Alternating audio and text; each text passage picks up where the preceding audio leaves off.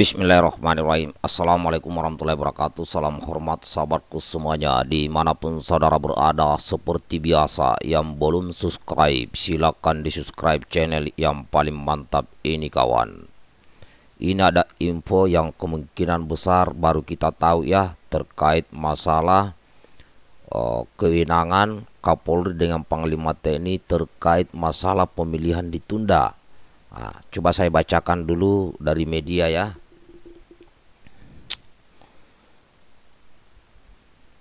Ini saya bacakan dari media onlinenya muslimtrend.com dengan judul Yusril, jika pemilu ditunda, Panglima TNI dan Kapolri bisa membantah perintah Presiden. Nah, begitu judulnya. Andai pemilu 2024 ditunda, maka penyelenggara negara atau eksekutif yang masih legal di tingkat pusat hanya Panglima TNI dan Kapolri. Kedua penyelenggara negara ini hanya dapat diberhentikan oleh Presiden dengan memperhatikan pertimbangan dan persetujuan DPR. Bagaimana cara menggantinya? Presiden dan DPR saja sudah tidak sah dan ilegal. Ujar pakar hukum tata negara Yusril Isah Mainra kepada wartawan Minggu 27 Februari.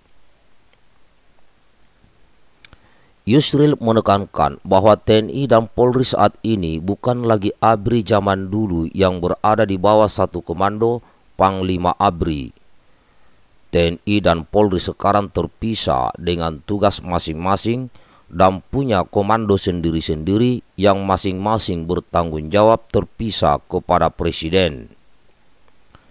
Jika presidennya sendiri sudah ilegal dan tidak sah, Panglima TNI dan Kapolri bisa pula membangkang kepada perintah presiden yang ilegal itu.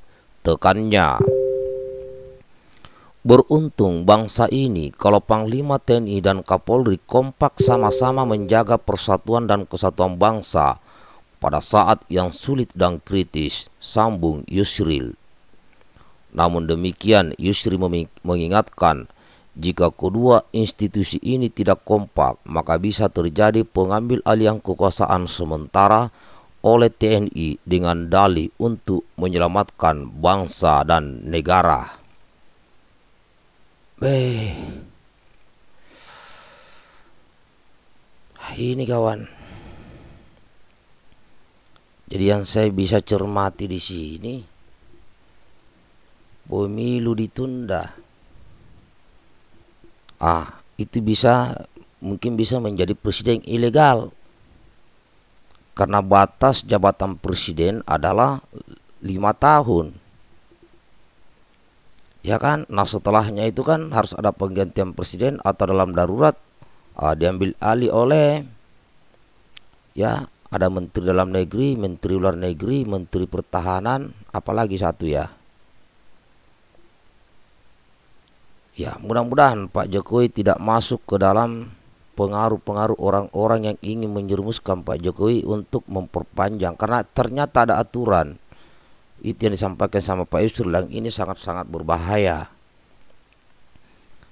Jadi aturan jangan sampai uh, ditabrak dengan alasan apa pun. Karena batas uh, jabatan presiden kan lima tahun.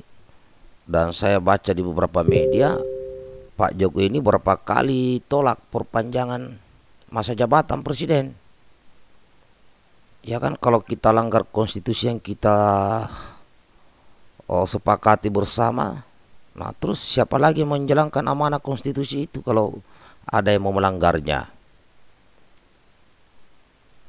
Nah, inilah ya dilema. Di satu sisi Pak Jokowi sekarang ini yang masih presiden sampai tahun 2024 menolak perpanjangan jabatan presiden, tapi muncul kelompok-kelompok tertentu bahkan beberapa ketua umum partai politik malah uh, membuat wacana perpanjangan masa jabatan presiden. Nah, inilah yang akhirnya memperkeruh suasana. Nah, apa yang disampaikan oleh Pak Isul sangat betul. Jika terjadi hal-hal yang tidak diinginkan negara ini, terjadi berbicara masalah stabilitas keamanan ya karena meng, eh, karena adanya sekelompok elit yang acak-acak konstitusi ya. Nah tidak menutup kemungkinan tentara akan ambil alih kekuasaan sementara itu bisa terjadi demi untuk keselamatan bangsa dan negara.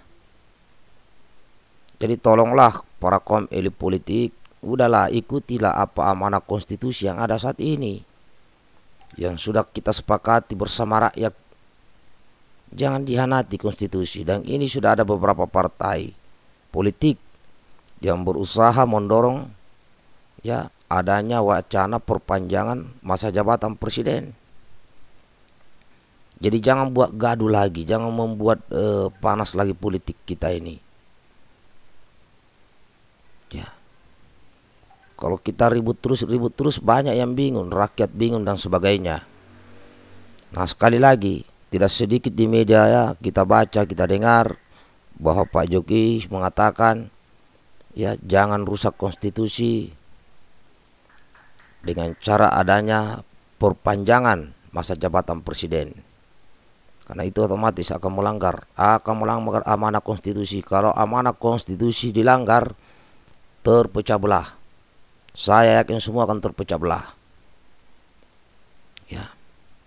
Kita harus belajar dari negara-negara luar yang mana mereka itu ada yang mengkhianati konstitusinya, akhirnya ribut.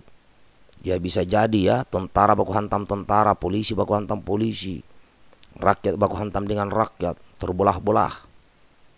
Ini hanya karena adanya sekelompok kecil orang di elit-elit yang ingin mengacak-acak amanah konstitusi negara kita. Nah kalau sudah ribut seperti itu yang senang pasti bangsa asing. Bangsa asing akan masuk. Jadi jangan-jangan buat ribu-ribu begitu. Selesaikan saja aturan yang sudah ada, hukum yang sudah disepakati. Ya. Ada beberapa partai yang ingin mengacak-ngacak ini saya lihat.